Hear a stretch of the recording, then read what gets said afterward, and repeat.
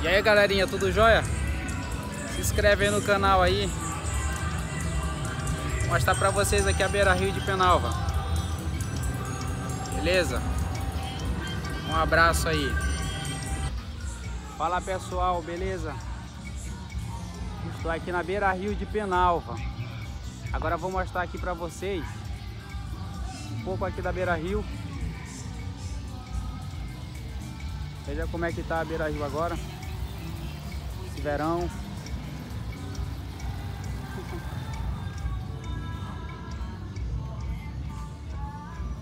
Esse aqui é o pier, também chamado de atracadouro.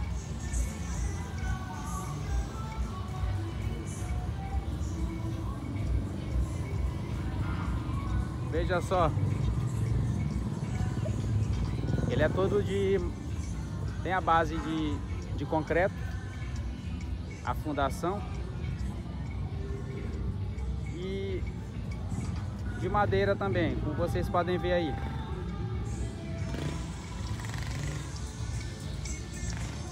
Esse pia aqui chegou em Penalva é por intermédio de um grande amigo nosso chamado Dr. Ivaldo Castelo Branco, alguns anos atrás.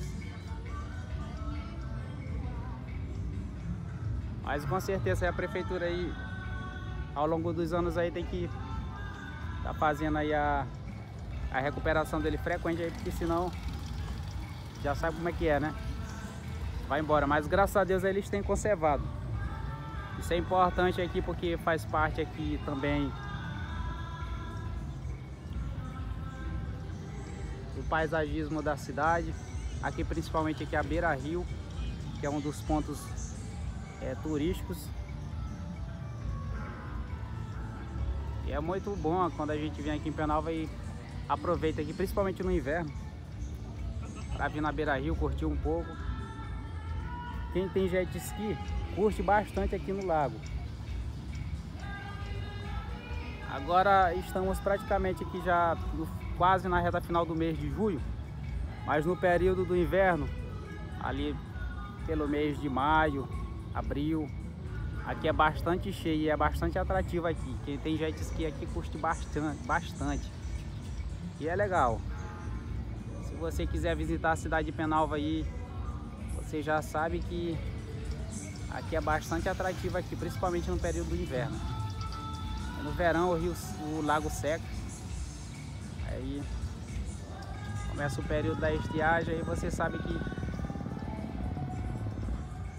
beleza natural também tem um período, né?